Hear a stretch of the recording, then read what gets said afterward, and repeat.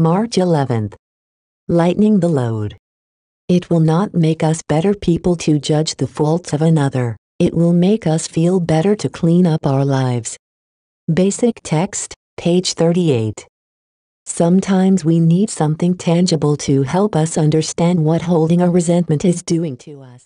We may not be aware of how destructive resentments actually are. We think, so what, I have a right to be angry, or, I might be nursing a grudge or two, but I don't see the harm.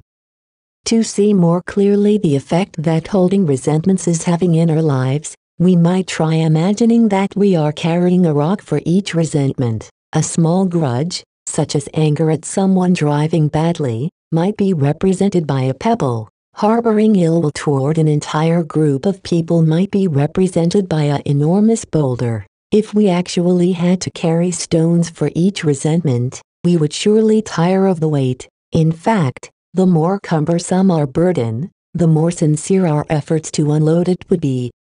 The weight of our resentments hinders our spiritual development. If we truly desire freedom, we will seek to rid ourselves of as much extra weight as possible. As we lighten up, we'll notice an increased ability to forgive our fellow human beings for their mistakes, and to forgive ourselves for our own. We'll nourish our spirits with good thoughts, kind words, and service to others.